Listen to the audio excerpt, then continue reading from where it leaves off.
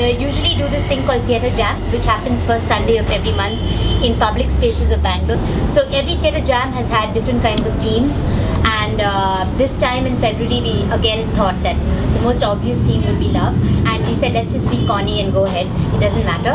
The idea is just for us to come together and uh, talk about love in different forms. So whether it's poetry, whether it's songs, whether it's stories, whether it's anecdotes, whether it's things that you've experienced that you want to share.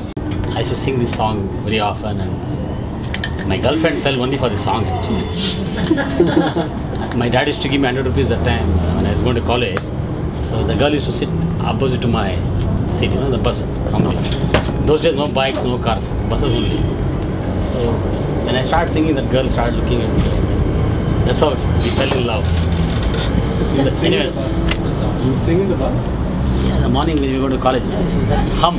The bus is moving and humming. So people started to come, you know, from back. People were standing, they started coming, and all. So we had a nice time those days. The song is from a movie called uh, Prem Pujari. I guess you must have heard of this uh, film song. Probably in the TV would have. Uh, song is called uh, Phoolon Ki Rang Se. The, the, the, the hero of the film, Devanand, expresses love to the heroines. As this goes, song goes this way.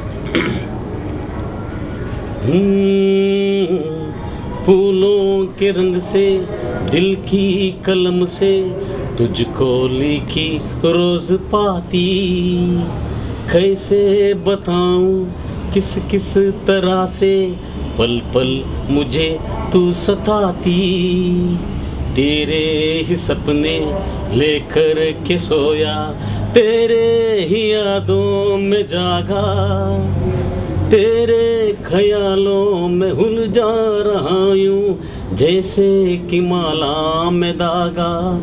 आ, बादल, बिजली, चंदन, पानी जैसा अपना प्यार लेना होगा।